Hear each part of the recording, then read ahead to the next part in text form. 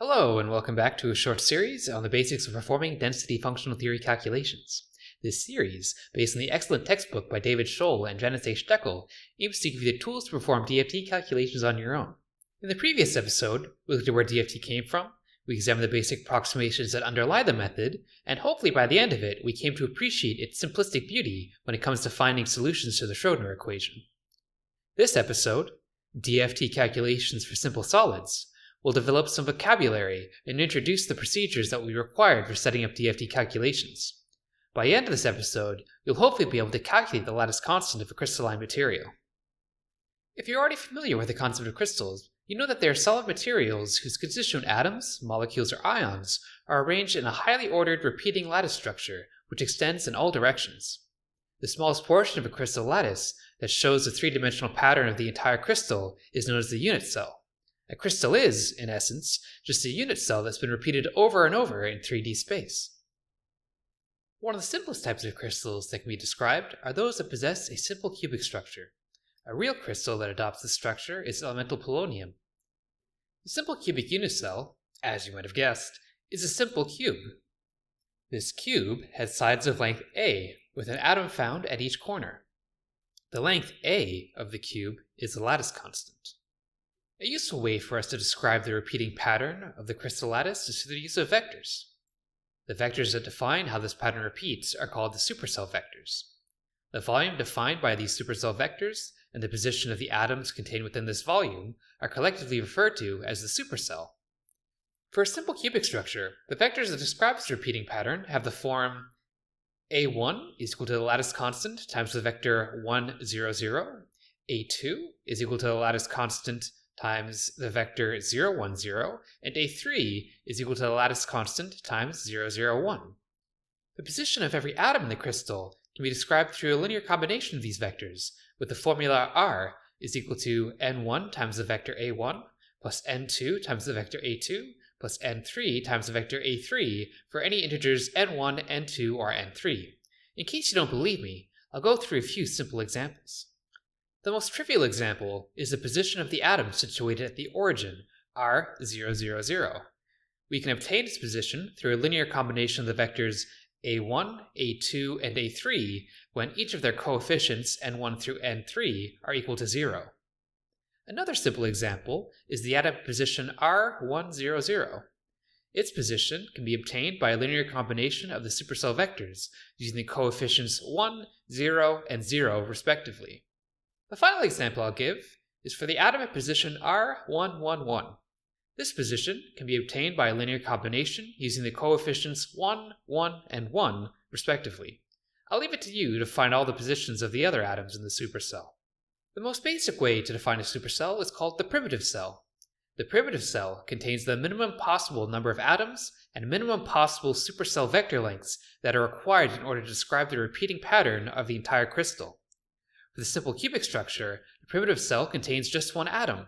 For convenience, we place this atom at the corner of the cube situated at the origin, 0, 0, 0. Repeating the primitive cell in any direction just requires a linear combination of the supercell vectors that we've already seen. Thus, the primitive cell can be completely described by an atom placed at the origin and the three supercell vectors A00, 0A0, and 00A. Now that we understand some of the language supercells, we can apply this to a crystal structure that will probably be of greater interest to us, a face-centered cubic or FCC structure. There are many examples of materials that have this structure. Some notable examples are the coinage metals, copper, silver, and gold. The FCC unit cell is very similar to the simple cubic structure. It's a cube that has sides of length A with an atom at each corner. But, additionally, it has an atom at the center of each face, hence the name face-centered cubic. Creative, huh? The supercell vectors that describe a cell with an FCC structure have the following form. A1 is equal to the lattice constant times 1 half, 1 half, 0. A2 is equal to the lattice constant times 0, 1 half, 1 half. And the vector A3 is equal to the lattice constant times 1 half, 0, 1 half. As before, through a linear combination of these supercell vectors, we can describe every possible atomic position in the crystal. Now, we'll quickly look at what combinations of supercell vectors we need in order to describe the positions of the atoms. we'll revisit the atoms of positions R00, R110, and R111. Like before, it's trivial to obtain the position of the atom at R000, with each coefficient n1 through n3 simply being 0. The atom at position R111 can, similarly to before, be obtained by a linear combination of the supercell vectors with coefficients 1, 1, and 1, respectively. A bit more interesting is the combination of vectors required to reach the atom at position R100. In this case, the linear combination of supercell vectors requires coefficients 1, minus 1, and 1 respectively. I'll leave it to you to find the coefficients required to describe all 14 atoms in the FCC unit cell. If you're quick, you'll notice, just like in the case of the simple cubic earlier, the primitive cell for an FCC material can be described using just a single atom. For convenience, we'll place this atom at the origin. The supercell vectors that describe the primitive cell are a over 2, a over 2, 0, 0, a over 2, a over 2, and a over 2, 0, a over 2. So now that we know how to define a supercell, we'll examine how we can, at least in principle, predict using DFT calculation the lattice constant that will be observed in nature for this material. This will be accomplished by calculating the total energy of a material as a function of the lattice spacing, E total as a function of A. A result from doing these calculations is shown at the right. The black squares you see are the values of the calculated total energy as a result of the given lattice spacing. The lines you see joining these dots result from fitting these points by some function. The shape of the curve we obtain is simple. It has a single minimum at a value of a that we'll call a0. This means that the total energy will be minimized if the lattice spacing was set to a0. Since nature always seeks to minimize energy, we have a direct physical prediction from our calculations. DFT predicts that the lattice constant of material will be A0. A well-known and detailed mathematical treatment of the total energy versus lattice constant is the Birch-Murnaghan equation of state for isotropic solids. In this equation, A0 is the equilibrium lattice constant that we're looking for. E0 is the value of the total energy at the point A0, or in other words, the minimum total energy. V0 is the equilibrium volume per atom. B0 is the bulk modulus at zero pressure and b prime of 0 is the partial derivative of the bulk modulus with respect to pressure at constant temperature. We can apply the Birch-Murnaghan, or BM equation, to a set of E total that we've calculated for a range of lattice parameters A, while treating A0, B0, B prime of 0, and E0 as fitting parameters. In this way, we can obtain the ideal lattice constant A0 that minimizes the energy of our material. So now that we understand what we're actually trying to do, we can try our hand at conducting some DFT calculations so we can obtain the ideal lattice parameter for an FCC crystal. We'll do this using the Vienna ab initio simulation package, or VASP for short. A VASP calculation needs five input files to proceed. In alphabetical order, these are the incar, kpoints, poscar, potcar, and submission files. Briefly, these files serve the following purposes. First, the incar file contains almost all the directions that tell VASP what type of calculation to perform, essentially what to do and how to do it. Next, the kpoints file specifies the Bloch vectors that will be used to sample the Brillouin zone. The POSCAR file defines the dimensions of the supercell, the number and types of atoms, as well as their arrangements within the supercell. The POTCAR file contains the pseudopotential information for each atomic species in the calculation. The job submission file contains the instructions required for your computer to run the VASP calculation. The instructions contained within this file are suited to the specific computer or supercomputer that'll host the calculation. Additionally, it's possible to automate some of the more tedious aspects of carrying out VASP calculations through careful construction of scripts and placing these scripts into the submission file. With the exception of the POTCAR, these input files must be constructed by you by hand using a word processor of your choice. It's important to note that VASP doesn't tolerate hidden characters or tabs in these files. Additionally, it'll be necessary to convert text files that have a Windows file format to Unix file format before you can perform your calculations. In the rest of this episode, I'll walk you through how to construct the input files necessary to perform this VASP calculation. The first file we look at is the incar. This file specifies most of the necessary parameters required for the calculation to run. There's no particular order that the parameters have to be listed in the incar, though I've grouped them together here by their function. If you're curious, you can visit the VASP wiki to find detailed information on what each tag does, what its default values are, and how you might be able to play with it in order to improve your calculation's accuracy or performance. If a parameter isn't explicitly mentioned in the in-car file, VASP will instead use a default value. In general, most defaults are fine. Adjusting the defaults can affect the speed and accuracy of your calculation, so it's recommended that you do so with care. In the VASP file, pound signs or exclamation marks cause text following them to be commented out, which can be useful for labeling what a specific tag in your in-car does, or to turn the tag off if it's not needed. I'll briefly discuss now individual important parameters that have been listed. Some of these are parameters that you'll need to adjust depending on the type of calculation you're trying to run. The first two tags I'll mention are kpar and ncore. These are required for parallelizing VASP calculations over the available computer cores. Ideal values for these parameters can be identified through trial and error, but you can start with the recommended values of kpar and ncore equal to 4. The next tags to discuss are NSW and IBRION. As seen here, NSW equals 0 means that the energy of an electron density is minimized for a single given arrangement of fixed nuclei. Once the electron density that minimizes the energy for this arrangement of nuclei has been identified, the calculation ends. This is known as a single point calculation, as the coordinates of the nuclei aren't allowed to vary. The electron density is only evaluated at a single point on the potential energy surface. IBRION tells VASP to perform a single point calculation if IBRION is equal to 1, a molecular dynamics calculation if IBRION is equal to 0, or a relaxation calculation for IBRION equal to 1 through 8. The final tags to point out are the GGA, which specifies the type of generalized gradient approximation to use, and IVDW, which specifies the type of van der Waals correction to apply to the energy. A widely used standard for the GGA exchange correlation functional is the Perdew-Burke-Ernzerhof or PBE functional, and can be chosen by specifying GGA is equal to PE. If you don't specify the type of exchange correlation functional in your in-car, VASP will default to the type used in constructing your potcar file. Regarding IVDW, Many of the popular local and semi-local density functionals are unable to correctly describe van der Waals interactions that result from dynamical correlations between fluctuating charge distributions. A workaround for this problem is to add a correction to the Kohn-Sham DFT energy. The typical correction I've used is the zero damping DFT D3 method of Grimme. It's worth evaluating which exchange correlation functional and dispersion correction will work best for your system. Different functionals and dispersion corrections might better be able to replicate your experimental results. The next file to look at is the k-points file. The first line of this file is a comment line.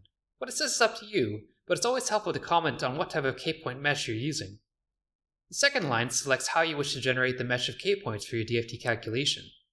The value 0 means an automatic mesh of k-points will be generated by VASP, and it's usually a safe option. The value on the third line designates the mode of k-point generation, a very common mode is the Monkhorst pack scheme, centered on the gamma point, which is the center of the Brillouin zone. The final line specifies any additional offset you wish to apply in moving the k-point mesh away from the gamma point. But what does this mean? What are k-points, and why do we need to specify them? Well, it turns out that this is because for many of the mathematical problems posed by DFT, it's more convenient to solve them in terms of reciprocal space, also called k-space, rather than in real space. The reason for this is a consequence from Bloch's theorem, though for now I won't really go into detail about how. Instead, I'll give an overview of the important concepts behind the different settings in the k-points file. Much like how the primitive cell in real space is the minimum possible volume that contains all the information necessary to describe an entire crystal, a similar type of primitive cell can be described in reciprocal space. This reciprocal space primitive cell has many special properties and is given a name, the Brillouin zone, or BZ. Points inside the Brillouin zone with a special significance are also given names. One of the most important of these points is called the gamma point, which is at the center of the Brillouin zone. A key concept of reciprocal space is that there exists an inverse relationship between distances in real space and their corresponding reciprocal distances in k-space. Small distances in real space become large distances in k-space, and correspondingly, large distances in real space become small distances in k-space. For our DFT calculation, VASP will be evaluating integrals of functions at points within the Brillouin zone. An important approximation being made when evaluating these integrals is to approximate them instead as summations over discrete k-points. A popular method for choosing which k-points are sampled for these summations was developed by Monkhorst and Pack in 1976. If you wish to read their original paper in Physical Reviews B, you can find it here. For their method, all that's required is to specify how many k-points you wish to sample in each direction in reciprocal space. Something to note is that the more k-points that are sampled in this calculation, which means a denser k-point mesh, the more accurate, the more computationally costly, the calculation will become. Due to the reciprocal nature of k-space compared to real space, this means that the density of k-points is greater for real space supercells with large supercell vectors compared to supercells with small supercell vectors. A rule of thumb, if you want to compare two calculations that might have had different supercell sizes, is that calculations that have similar densities of k-points will have a similar level of precision. A rather straightforward file is the POSCAR. This file contains all the information regarding the positions of your atoms and tells VASP the dimensions of your supercell. The first line of the POSCAR file is a comment line. What it says is up to you. It'll be very useful to you if this line always clearly describes the system that's being contained within the POSCAR. The next line of the POSCAR is the universal scaling factor. Essentially, it's used as a coefficient to scale up or down your supercell vectors. We'll adjust this factor when we're trying to find the ideal lattice parameter for a FCC copper crystal. The next three lines describe your three supercell vectors. In this case, they are the vectors that describe a primitive cell for a FCC copper crystal. The sixth line defines the chemical identity of the atoms in your supercell. Each distinct type of atom is listed in the order they appear in the POSCAR, separated by a space. The line beneath specifies the number of that type of atom that's in your POSCAR. This number must correspond with the order in which the atoms of that type appear in the POSCAR. For example, if I had one copper atom and two oxygen atoms, I would write in the sixth line Cu space 0, and on the seventh line 1 space 2. I would then have to ensure that my three nuclei coordinates are given in the same order below, copper first, and then two oxygen atoms. The eighth line tells VASP whether or not to allow certain atoms to move. These atoms will need to have an added true or false flag to enable motion along each particular Cartesian direction. These three flags must be added to the end of the line that lists the coordinates. For example, if I want my copper atom to move in the x direction but not in y or z, I would add t space f space f after the nuclei coordinates. The ninth line tells VASP how you supply the coordinates, whether using Cartesian coordinates or with direct, also called fractional coordinates. Cartesian coordinates can be obtained from direct coordinates by applying the formula you see here, where x1, x2, and x3 are your x, y, and z components, and b1, b2, and b3 are your supercell vectors. You can obtain the direct coordinates from Cartesian coordinates simply by applying the inverse of this operation. The final lines of your POSCAR will list the coordinates of each atom in your supercell, each line corresponds to a single atom. As you might remember from just before, the Boolean values listed at the end of each line specify whether or not an atom is free to move along the x, y, or z coordinates, respectively. The last of the special VASP input files is the POTCAR. The type of POTCAR I've always used were generated using the projector augmented wave method and the generalized gradient approximation with the Perdew-Burke-Ernzerhof functional. POTCARs have been constructed in this way for a large variety of atoms, and can be found for each atom within the folder titled POTCAR underscore PBE inside the potentials folder that's found inside the main VASP folder. Once located, the correct POTCAR can then be copied over to the calculation directory. If there are multiple types of atoms in a calculation, a new POTCAR must be constructed by concatenating the individual POTCAR files for each element type in the order that they're listed in the POTCAR file. But what is the POTCAR? In short, it's a file that contains the pseudopotential generated for each atom in a VASP calculation. The point of these pseudopotentials is to reduce computational burden. From a physical point of view, core electrons aren't that important when it comes to defining chemical bonding, or many of the other physically interesting characteristics of materials. A pseudopotential, in essence, replaces the costly calculations for the contribution of the core electrons to the electron density with a smooth density that matches the various important physical and mathematical properties of the true ion core. The properties of the core electrons remain fixed in this approximate fashion during a DFT calculation. This is called the frozen core approximation. There are different ways to construct pseudopotentials for DFT calculations. One of the most widely used methods of defining pseudopotentials is based on the works by Vanderbilt. These are the ultrasoft pseudopotentials, or USPPs. A disadvantage of the USPPs is that constructing the pseudopotential for each atom requires a number of empirical factors to be specified. Another frozen core approach that avoids some of the disadvantages of the USPPs is the projector augmented wave, or PAW, PAW method that was originally introduced by Blöchl and adapted for plane wave calculations by Kresse and Joubert. Finally, once all your other VASP files are together, you're almost ready to submit a DFT calculation. All that remains is to construct a submission file for your calculation. The only thing your submission file really requires is a way to tell your computer how to open and execute the VASP program. A very simple bash script for submitting a VASP calculation is as follows. On the first line is a command that tells the computer that you're using a bash script. The next lines define the variables that tell the computer the number of computer cores the VASP will run on, as well as the path to where VASP is installed. The final line of the script tells the computer to use OpenMPI to execute VASP in parallel on the requested CPU cores. However, we can save ourselves a lot of headache and hassle if we include a few more commands into our bash script. Here I've defined a few more variables, specifically incar, kpoints, potcar, and poscar. You'd be asking yourselves, why have I defined these additional values? That is a very good question. The reason for this is that VASP only recognizes the input files if they're correctly titled. For example, the incar file must be titled INCAR in all capitals with no additional text or punctuation. The same is true for the kpoints, poscar, and potcar files. Later in the submission script, I use the cp or copy bash command to convert the names of the labeled script input files from user-friendly format to a VASP-friendly one.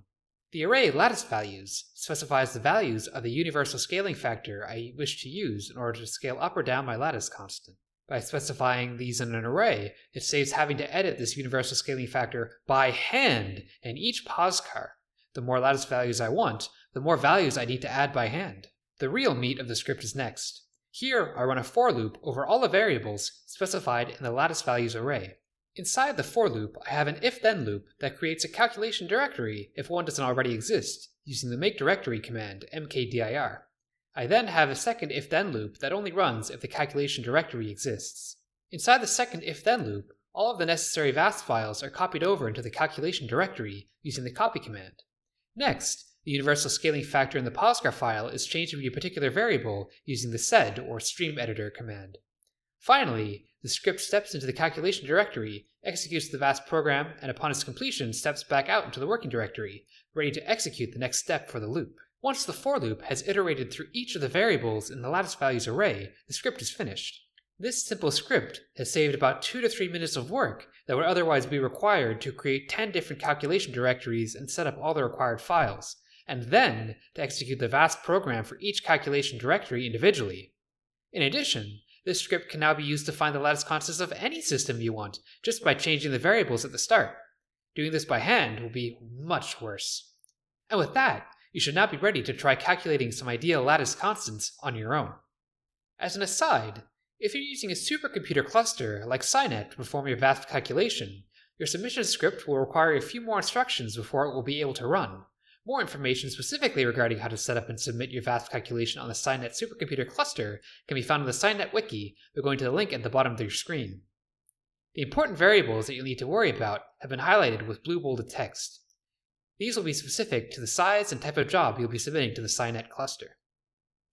And with that, we come to the end of part 2.